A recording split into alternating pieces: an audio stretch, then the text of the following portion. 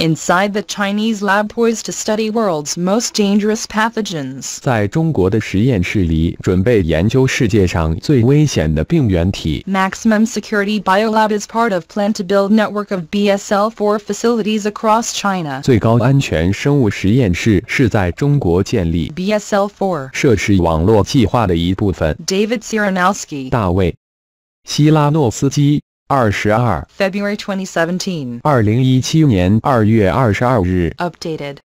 Hazard suits hang at the National Biosafety Laboratory, Wuhan, the first lab on the Chinese mainland equipped for the highest level of biocontainment. 位于武汉的国家生物安全实验室悬挂着危险防护服， 这是中国大陆第一个装备了最高级别生物防护设备的实验室。 A laboratory in Wuhan is on the cusp of being cleared to work with the world's most dangerous pathogens.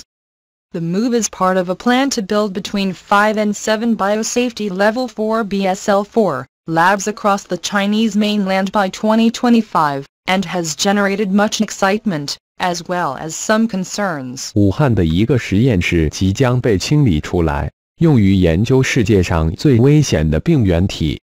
这一举措是2025年前在中国大陆建设五至七个生物安全四级 BSL-4实验室计划的一部分，引起了很多兴奋和担忧。 Some scientists outside China worry about pathogens escaping, and the addition of a biological dimension to geopolitical tensions between China and other nations. But Chinese microbiologists are celebrating their entrance to the elite cadre empowered to wrestle with the world's greatest biological threats. 中国以外的一些科学家担心病原体会逃逸，担心中国和其他国家之间的地缘政治紧张局势会增加生物因素。但是，中国的微生物学家们正在庆祝他们进入这个被授权与世界上最大的生物威胁搏斗的精英团队。It will offer more opportunities for Chinese researchers, and our contribution on the BSL 四 level pathogens will benefit the world, says George Gao, director of the Chinese Academy of Sciences Key Laboratory of Pathogenic Microbiology and Immunology in Beijing. There are already two BSL-4 labs in Taiwan, but the National Biosafety Laboratory, Wuhan, would be the first on the Chinese mainland. 北京中国科学院病原微生物学和免疫学重点实验室主任乔治高说：“这将为中国研究人员提供更多的机会。我们在 BSL-4 疾病原体方面的贡献将使世界受益。台湾已经有两个 BSL-4 实验室，但武汉的国家生物安全实验室将是中国大陆的第一个。 The lab was certified as meeting the standards and criteria of BSL-4 by the China National Accreditation Service for Conformity Assessment CNAS in January. The CNAS examined the lab's infrastructure, equipment and management, says a CNAS representative, paving the way for the Ministry of Health to give its approval. A representative from the ministry says it will move slowly and cautiously. If the assessment goes smoothly, it could approve the laboratory by the end of June. 今年一月，该实验室通过了中国合格评定认可委员会 CNAS, 的认证，符合 BSL-4, 的标准和标准， CNAS, 检查了实验室的基础设施、设备和管理。 CNAS, 的一位代表说， 这为卫生部的批准铺平了道路。卫生部的一位代表说，他们将缓慢而谨慎地进行评估。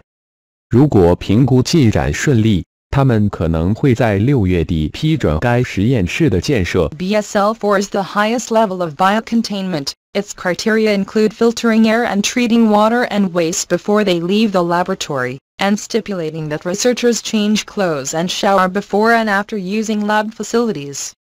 Such labs are often controversial. The first BSL-4 lab in Japan was built in 1981, but operated with lower risk pathogens until 2015, when safety concerns were finally overcome. BSL-4是生物遏制的最高级别。它的标准包括过滤空气和在离开实验室之前对水和废物进行处理， 并规定研究人员在使用实验室设施之前和之后必须更换衣服和淋浴。这样的实验室经常引起争议。日本的第一个 BSL-4 实验室建于1981年，但一直使用低风险病原体。直到2015年，安全问题最终得到解决。 The expansion of BSL-4 lab networks in the United States and Europe over the past 15 years, with more than a dozen now in operation or under construction in each region, also met with resistance, including questions about the need for so many facilities. 在过去15年中，美国和欧洲的 BSL-4实验室网络的扩展也遇到了阻力，包括对如此多设施的需求问题。 目前，每个地区都有十多个 BSL-4实验室网络在运行或建设中。 Viruses done. T no borders. 病毒不分国界， The Wuhan lab cost 300 million yuan 44 million US dollars, and to allay safety concerns it was built far above the floodplain and with the capacity to withstand a magnitude 7 earthquake, although the area has no history of strong earthquakes. It will focus on the control of emerging diseases, store purified viruses and act as a World Health Organization reference laboratory linked to similar labs around the world. It will be a keynote in the Global Biosafety Lab Network, says Lab Director Yuan Zhiming. 武汉实验室耗资3亿元人民币和4400万美元，为了减轻人们对安全的担忧，该实验室建在远离洪泛平原的地方，具有抵御七级地震的能力。尽管该地区从未发生过强烈地震，它将致力于控制新出现的疾病，储存纯化病毒，并作为世界卫生组织的参考实验室与世界各地的类似实验室联系起来。它将成为全球生物安全实验室网络的一个关键节点。实验室主任袁志明说 The Chinese Academy of Sciences approved the construction of a BSL-4 laboratory in 2003, and the epidemic of SARS severe acute respiratory syndrome around the same time lent the project momentum. The lab was designed and constructed with French assistance as part of a 2004 cooperative agreement on the prevention and control of emerging infectious diseases. But the complexity of the project, China's lack of experience, difficulty in maintaining funding and long government approval procedures meant that construction WASNT finished until the end of 2014. 2003年，中国科学院批准了 BSL-4 实验室的建设。与此同时，SARS 严重急性呼吸综合症的流行也为该项目提供了动力。这个实验室是在法国的协助下设计和建造的，是2004年预防和控制新发传染病的合作协议的一部分。但是这个项目的复杂性、中国经验的缺乏、维持资金的困难以及冗长的政府审批程序。意味着这个项目直到2014年底才完工。The lab's first project will be to study the BSL-3 pathogen that causes Crimean Congo hemorrhagic fever, a deadly tick-borne virus that a FFECTS livestock across the world, including in northwest China, and that can jump to people. 该实验室的第一个项目将是研究导致克里米亚刚果病毒性出血热的 BSL-3病原体。一种致命的皮传病毒，影响世界各地的牲畜，包括中国西北部的牲畜，可以传染给人类。 Future plans include studying the pathogen that causes SARS, which also DOESNT require a BSL-4 lab, before moving on to Ebola and the West African Lassa virus, which do. Some 1 million Chinese people work in Africa. The country needs to be ready for any eventuality, says Yuan. Viruses don't know borders. 未来的计划包括研究引起 SARS, 的病原体，这也不需要一个 BSL-4, 实验室， 然后研究埃博拉病毒和西非拉沙病毒。大约有一百万中国人在非洲工作，这个国家需要为任何可能发生的情况做好准备。袁说。病毒不分国界。Go traveled to Sierra Leone during the recent Ebola outbreak, allowing his team to report the speed with which the virus mutated into new strains One. The Wuhan lab will give his group a chance to study how such viruses cause disease, and to develop treatments based on antibodies and small molecules, he says. 高在最近的埃博拉疫情爆发期间前往塞拉利昂，让他的团队报告了病毒变异为新病毒的速度。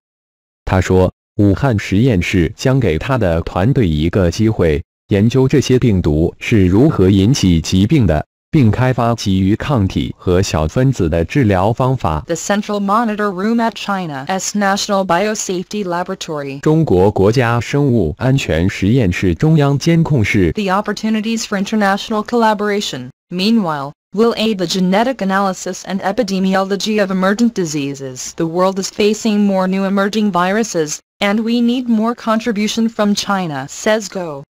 In particular, the emergence of zoonotic viruses, those that jump to humans from animals, such as SARS or Ebola is a concern, says Bruno Lina, director of the VirPath Virology Lab in Lyon, France. 同时，国际合作的机会将有助于突发疾病的遗传分析和流行病学。世界正面临着更多新出现的病毒，我们需要中国做出更多贡献。高说。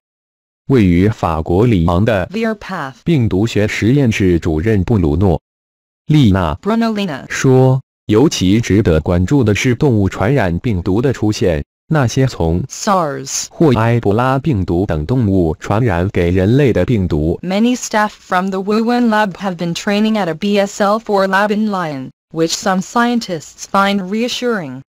And the facility has already carried out a test run using a low-risk virus. 武汉实验室的许多工作人员一直在里昂的 BSL-4实验室接受培训，一些科学家对此感到放心。该设施已经使用一种低风险病毒进行了试运行。 but worries surround the Chinese lab, too. The SARS virus has escaped from high levels containment facilities in Beijing multiple times, notes Richard Ebright, a molecular biologist at Rutgers University in Piscataway, New Jersey. Tim Trevan, founder of Chrome Biosafety and Biosecurity Consulting in Damascus, Maryland, says that an open culture is important to keeping BSL-4 labs safe, and he questions how easy this will be in China, where society emphasizes hierarchy, diversity of viewpoint, flat structures where everyone feels free to speak up and openness of information are important, he says. 但中国实验室也存在担忧。位于皮斯卡塔维的罗格斯大学的分子生物学家 Richard Ebright. 指出，SARS. 病毒已经多次从北京的高级防控设施中逃脱。马里兰州大马士革的 Chrome. 生物安全和生物安保咨询公司 Chrome Biosafety and Biosecurity Consulting. 的创始人蒂姆·特雷文 Tim Trevin. 说：“开放的文化对于保证 BSL-4. 实验室的安全非常重要。”他质疑在中国这样做会有多容易，因为观点的多样性，每个人都可以畅所欲言的扁平结构以及信息的公开性都很重要。他说 Yuan says that he has worked to address this issue with staff. We tell them the most important thing is that they report what they have or haven't done, he says.